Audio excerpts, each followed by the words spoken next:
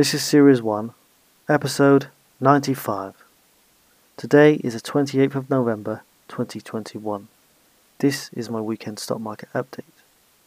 As usual, I will discuss the general market conditions, show you what I'm seeing, and then I'll talk about some COVID plays and my stocks that I own and the positivities that I can see in the market, at least now anyway. I will be covering a lot of information here, things I've never covered before.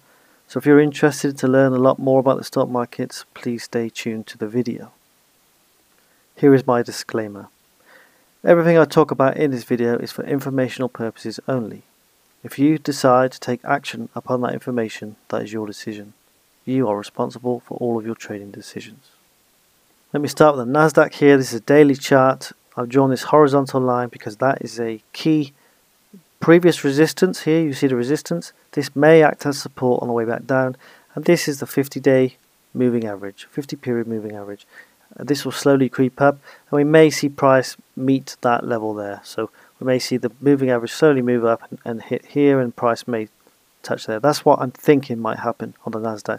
So at this moment in time I think we may see some further selling. I don't know because the price on some stocks is showing me something different but I'll discuss that shortly so at the moment, this is what I think might happen for the Nasdaq. This is the level I'm watching. Now, of course, it doesn't mean price is going to attack this level. It's just my analysis at this moment in time, and this is a Sunday as I do this video. Let me talk about the Dow Jones now. Now, last week I talked about this. I drew this horizontal line here because of this previous resistance on the left here. And I said the price was up here, and I said I think that price might touch this level and hold. It did.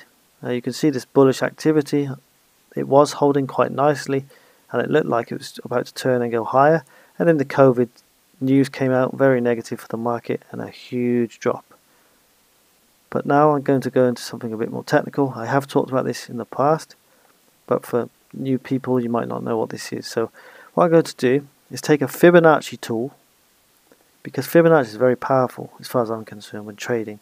I take the low point here, I drag this tool up to the high point on this daily chart on the Dow Jones. Right, you can see that price magically, it's incredible how this stuff works, is stopped dead on the 61.8% Fibonacci level. Now I talk about this stuff regularly, this golden ratio is very amazing sometimes how this works. It stopped dead here. Now, does that mean it's going to rebound? No, it doesn't. But what it means is we should be paying attention to this level on the Dow Jones because it may hold here and then we should start looking for signs of a turnaround. So that's what I see on the Dow Jones. Now, the S&P, this is going to take a little bit longer to explain. The S&P 500, this is probably the most important indice at the moment. You'll see I've drawn a trend line here, right back down here, back to February 2020. This trend line goes all the way up here. Got these touch points here. Then I have this horizontal line. So let me zoom in, but I just wanted to show you the trend line first of all. So I'll zoom in here. I want to explain what I'm seeing. So this horizontal line here is, I can move that up slightly actually.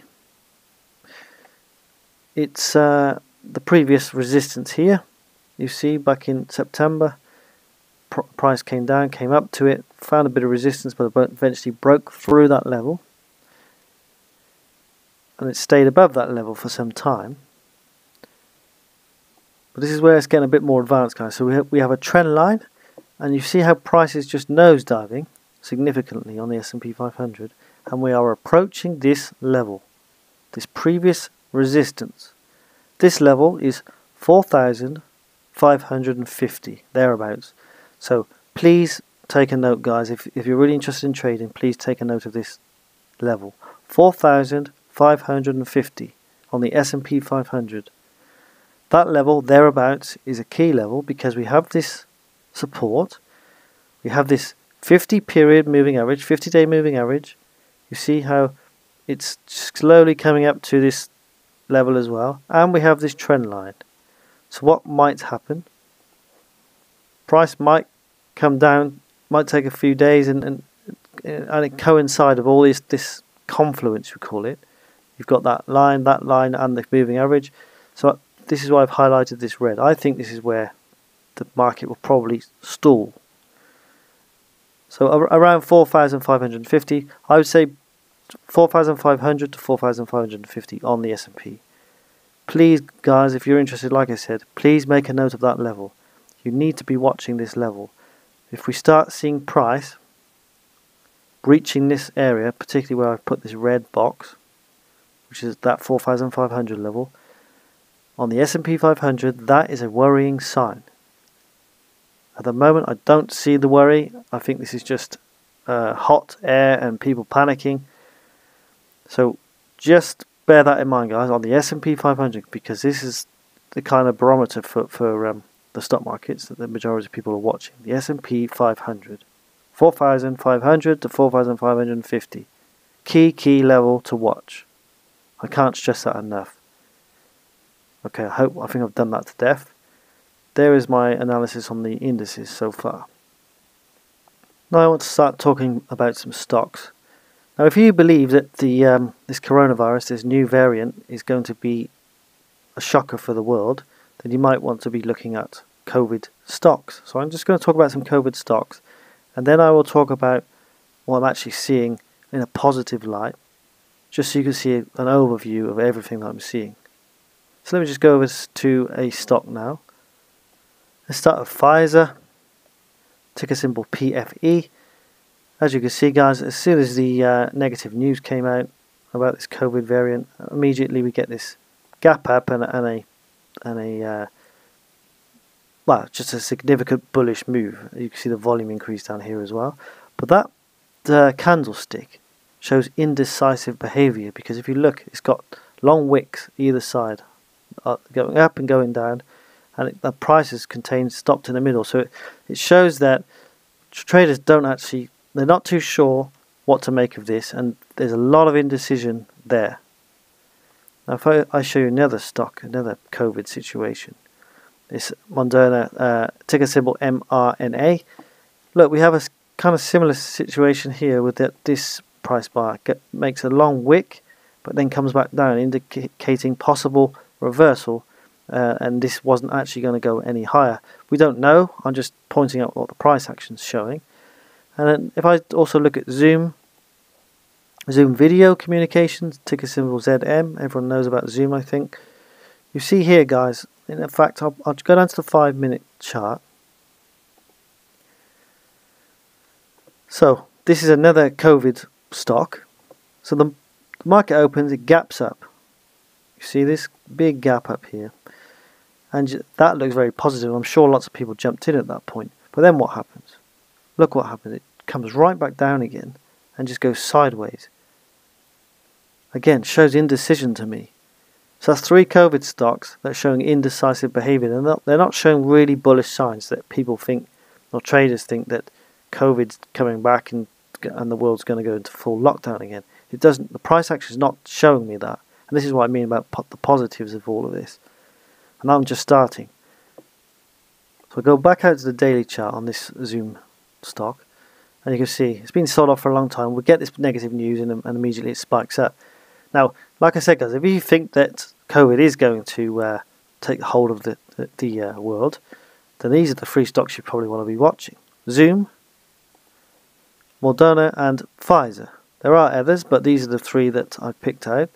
So, yeah, keep your eye on those if you think that COVID is taking hold, but I don't see that at this moment in time. Now, I'm going to start delving even deeper now to show you more information, just so you can see a like I said, a better picture of what I'm seeing. Let me show you something I've not shown people before on this channel. Some people know about this, some people do not. This is called the, in the trading world, they call this the fear gauge. Because when you get spikes up, it means that there's a lot of fear in the market and volatility is kicking in. So let me just show you why I'm not too worried at this point. You know, the coronavirus started hitting the headlines around 2020 February, right? Look what happens on this chart. Huge amounts of fear and, and volatility kicking in. By March, look where it was, all the way up here. Okay? It was really important information, this is, guys. So, massive, massive amounts of fear. look where we are, where we are now. We're in November. Yes, we've got a spike up. Do you see the fear and the volatility anywhere near what it was in February, March last year? Nowhere near, guys. So at the moment, this looks fine.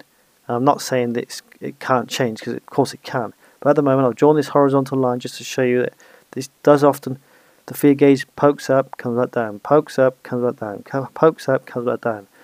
Now, another thing to mention, guys, if if we see that this this get this, uh, please, guys, I, I'm, I'm trying to help you and trying to give you the information, train you.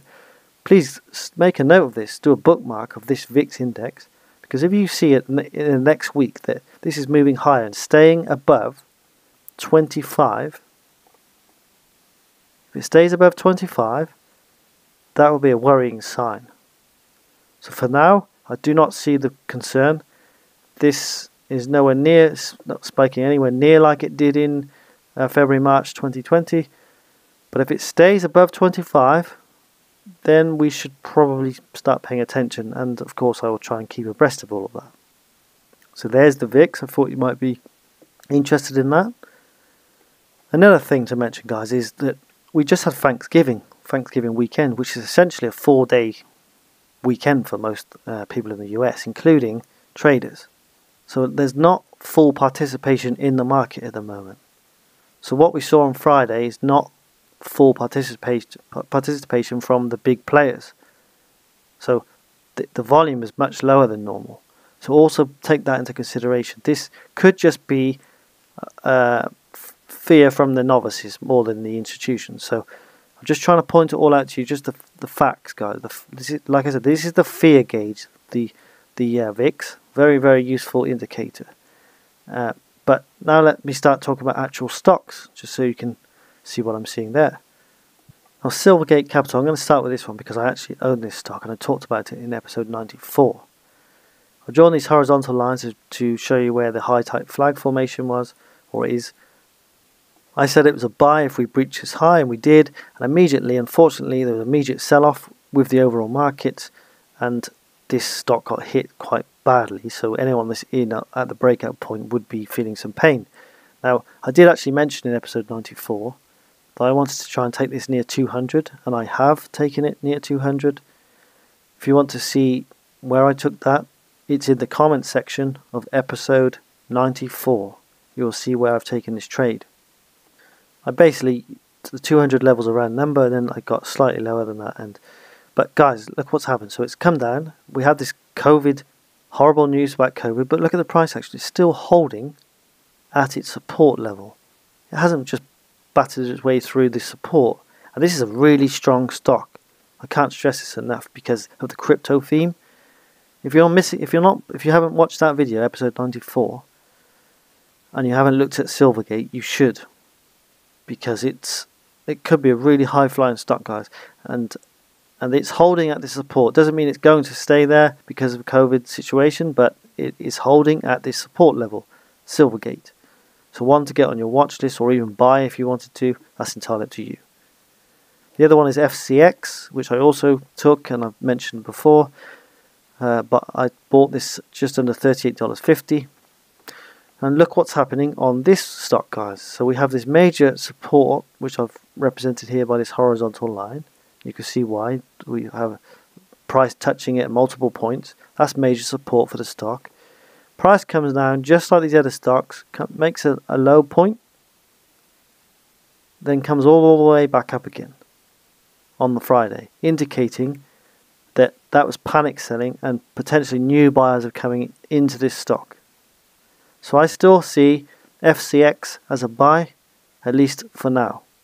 Of course, if things start developing and changing and this COVID situation is worse than we think, or I think, then you might want to consider getting out of this trade. The same with Silvergate. If price starts tanking down here, then I'm going to have to take the loss on the trade, and that will be the end of it. Finally, let me discuss some sectors, two sectors. Uranium I talked about last week as well. I said I'll draw this horizontal line in. Take a note of that bullet, that price bar there first of all. See that bar? This one. Uh, if I draw a, horizontal line. I talked about that level. I said I think this uranium ETF, I expect price to attack the 25 level thereabouts, and we have uh, almost almost fully predicted that. Um, and what we've seen, guys, is again a bullish price bar forming at major support.